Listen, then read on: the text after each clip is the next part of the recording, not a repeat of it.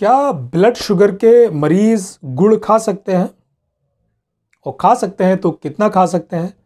क्या गुड़ खाने से ब्लड शुगर नहीं बढ़ता है? और क्या चीनी खाने से ब्लड शुगर बहुत ज़्यादा बढ़ता है? इस तरह के बहुत सारे सवाल लोगों के मन में रहते हैं और इसको लेके बहुत सारी भ्रांतियाँ भी हैं। लोग अपना अपना ज्ञान देते हैं कि हाँ आप ये कर सकते हैं, आप वैसा कर सकते हैं। इसके करने से ऐसा कुछ नहीं होगा। आप गुड़ खा सकते हैं, क्योंकि ये तो नेचुरल चीज़ है। तो यहाँ मैं आपको उन तथ्यों को समझाने की कोशिश करूँगा साइंटिफिक आधार पे कि आपको या डायबिटिक मरीज़ों को गुड़ खाना चाहिए या नहीं खाना चाहिए, चीनी खाना चाहिए या नहीं खाना चाहिए। चीनी के लिए और मीठी चीज़ों के लिए तो वैसे भी डायबिटिक पेशेंट्स को मनाही करके रखते हैं कि नहीं खाना है, लेकिन गुड़ को लेके फिर भी एक संदेह की स्थिति बनी हुई है। कुछ लोग उसको खाने का प्रेफरेंस देते हैं, कुछ लोग उसको मना करते हैं। तो पहले समझ लेते हैं कि एक्चुअली गुड़ बनता कैसे है। गुड़ बनाने के लिए भी जो गन्ना होता है, जिसको शुगर केन कहते हैं, उसको बड़े बड़े बर्तनों में डाल के उसके रस को उबालते रहते उबालते रहते हैं तो आप ये मान के चलें कि एक तरीके से जो रस के अंदर पानी था, उसको निकाल देते हैं और जो बाकी मिठास रह जाती है, उसको हम फिर इकट्ठा कर लेते हैं।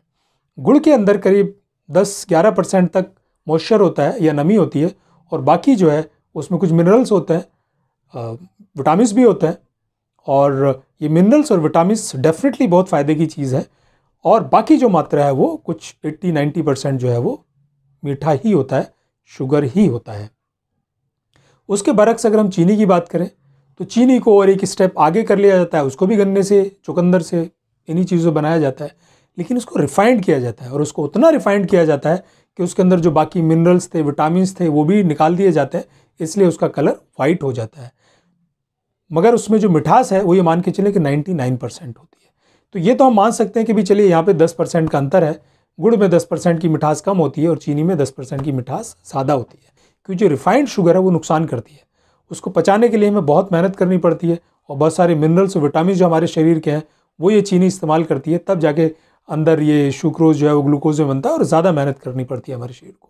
हालाँकि गुड़ फिर भी जल्दी डाइजेस्ट हो जाता है, उतनी मेहनत नहीं करनी पड़ती। मगर डायबिटिक पेशेंट्स के लिए गुड़ भी उतना ही नुकसानदेह है जितना कि रिफाइंड या सफ़ेद चीनी। रिफाइंड चीनी या सफ़ेद चीनी। तो आप कृपया करके गुड़ का इस्तेमाल ना करें डायबिटिक पेशेंट्स खासतौर से। और जो नाइन नॉन डायबिटिक लोग हैं, उनको लिए गुड़ बहुत फ़ायदे की चीज़ है। खाने के बाद थोड़ा बहुत आप इस्तेमाल कर सकते हैं। आप एनर्जीज़ को बर्न करें, आप कैलोरीज़ को बर्न करें और गुड़ का इस्तेमाल करें, वो डाइजेशन को मदद करता है, उसके अंदर मिनरल्स भी होते हैं विटामिन भी होते हैं। तो जो लोग नॉन डायबिटिक हैं, जिनको ब्लड शुगर की बीमारी नहीं है, वो गुड़ बिल्कुल खा सकते हैं। खाना चाहिए, फ़ायदे की चीज़ है। मैं तो कहूँगा, आप चाय और जो दूध पीते हैं, चीनी के साथ, चीनी बंद करके आप गुड़, शक्कर या जगरी का इस्तेमाल कर सकते हैं नॉन डायबिटिक लोग।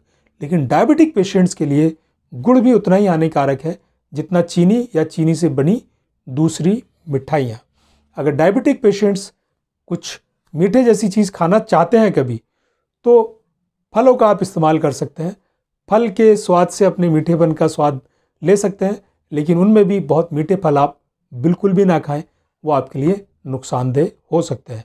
तो ये भ्रांति को अपने मन से निकाल दें कि गुड़ एक नेचुरल पदार्थ है तो डायबिटीज़ में नुकसान नहीं देगा, वो भी उतना ही नुकसान देगा, और गुड़ खाने से आपका ब्लड शुगर का लेवल एकदम से बढ़ जाएगा। तो इसलिए इस बात को इस सलाह को गांठ बाँध लें कि डायबिटिक लोग कृपया करके गुड़ बिल्कुल ना खाएँ। वो उनके लिए बहुत ज़्यादा नुकसानदेह है, जैसे चीनी नुकसान करती है। तो मुझे उम्मीद है मेरे डायबिटिक भाई लोगों को ये जानकारी पसंद आई होगी, उनके काम की रही होगी और इससे बहुत सारे लोगों को फ़ायदा मिलेगा। इसलिए इस वीडियो को वाइडली लोगों को शेयर करें सो दैट ज़्यादा से ज़्यादा लोग इसका फ़ायदा उठा सकें।